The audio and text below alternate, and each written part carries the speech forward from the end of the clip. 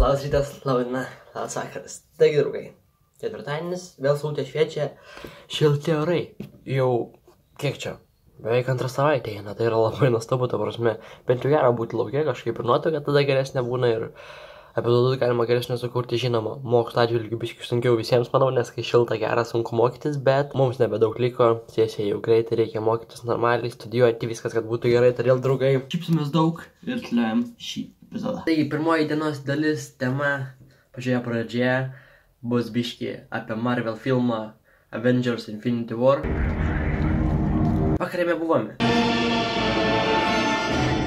bet apie jį patį nepakalbėjome, todėl dabar norite išvengti spoilerių, nežiūrėkite kokias porą minučių ir pradėkime rubriką Mintis apie filmus prie padelio kavos.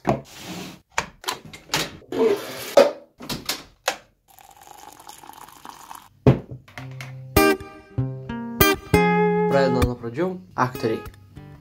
Afigeni, ta prasme, vaidyba nepriekaištinga, Geriausiai šiaip, manau, vaidino šiame filme, tai Robertas Downis jaunesnėlis, nu, tai Iron Manas, Tony Starkas, talentingas žmogus, žiauriai talentingas. Tom Holland, nu, tai kaip Spider-Manas, Doctor Strange, Benediktas, Krisai visi trys, visai neblogai, ta prasme, man asmeniškai tikrai patiko jų perteikimas viso filmo, tai yra nuostabu.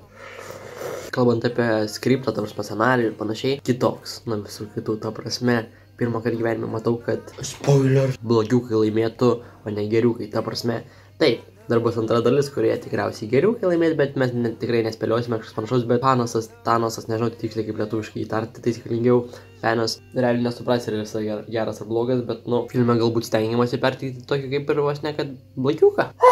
Montavimo, filmavimo perspektyvą, nu tai tas filmavimo žiūrint, tai kadrai buvo ilgi, ta prasme, daug tokių ilgesnių kadrų, tai man džiaugiai patiko, ta prasme, įdomu žiūrėti tos tokius biški ilgesnius kadrus, ne tai, kad iš ten karpamo kažkas panašus matas, kad tokie žmonės tiesiog jie pradeda filmuoti, jie filmuoja ilgas normalias scenas, tai yra tiesiog tobulą. Taip, bet ten daug karpomi ir panašiai, bet, ta prasme, vis tiek tvarkingai, viskas tvarkingai.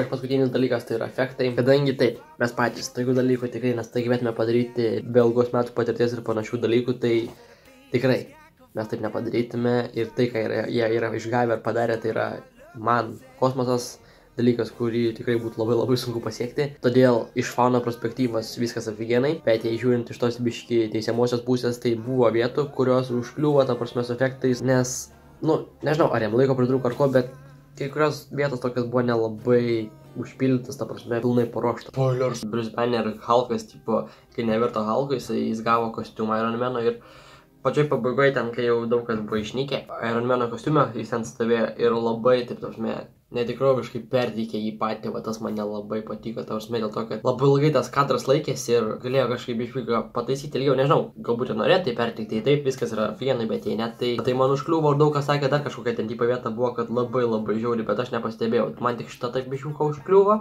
o šiaip gražu, gražu. Na ir paskutinis punktas įvertinimai, tai MAB gavo tiek, obalių gavo tiek, manau, įvertinimų jie verti filmas buvo ilgas, man patiko, šiaip gera buvo žiūrėti, geras. Svarbiausia, kad nedarė tiesiog atrimto filmo, bet tokių biškių ir komedinių vietų, ir tokių biškių liūdnų, ir veiksmų, ir neveiksmų, tai aš manau, tai yra nuostabu. Dabar lauksime antros dalies. Ir kaip ir tiek su šią rubriką. Pažiūrėkit, kaip toli mano pasatas nugrūstas nuo mano barako. Tai laukia taip gera.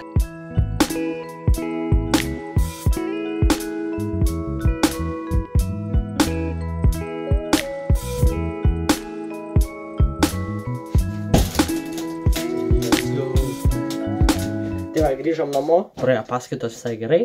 Laukia šiandien belė kaip karšta. Reikia dabar dar paskambinti tėvam, pasižiūrėti, ar ten nieko nereikia padaryti, ar nieko nereikia, nieko, nieko. Ir jei ne, tada reikės tik sesę nuvežti, parvežti iš šokių ir tada galbūt varysime kažkur tai prie žiūriukų, prie upytės ar kažkas panašaus.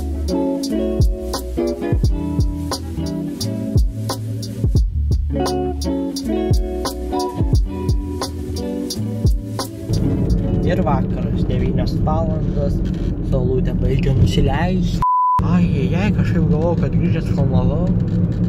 Ai, gal ir filmavau.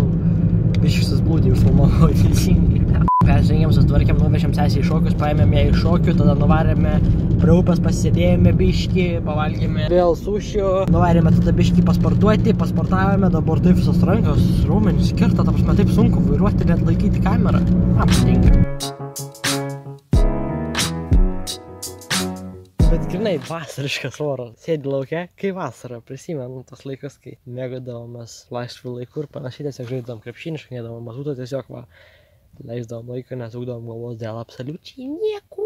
Atsiprašau, kad šiandien pertraukiau tokį, kaip labiau kalbėdamas apie filmus, bet taip jau gavosi, todėl atsiprašau, jei jums nepatiko, bet tokia ta toja Aivaro diena šiandien. Eisiu sumontuoti šio epizodo raišių liulę iš karto, nes kažkaip jaučiuosi toks biški išsekęs, ne tai kad pavargęs, bet tiesiog išsekęs ir nedamegojęs, gal reiktų taip įsireikšti, nes nuėjau mėgoti kažkur antrą nakties, atsikėliau septintą, tai tai biški buvo ką veikti anksčiau, kažkaip lengviau būdavo negu dabar. Tai va, na šiaip, ačiū Jums už palaikymą prenumeratoriai kyla, ačiū, kad dalinat mano kanalu, peržiūros vėl šiek tiek auga, tai yra gražu, nes buvome labai stipriai pradėję kristi, dabar vėl taip išiuką įsilyginom, ačiū Jums už tai, ačiū, kad žiūrėjote šios dienos epizodą, sutiksime rytoj su kitu, sakykite, nuotikiais, prenumeruokit, mylėkite save, mylėkite kitus ir veikite kažką naudingą.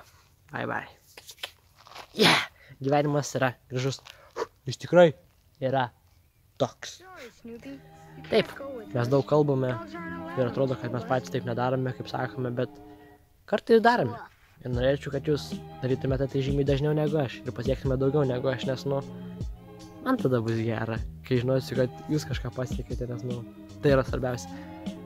O aš pabiski irgi, kaip hadas iš požymio karalystės atvarysiu. Nusisneku. Labą naktį.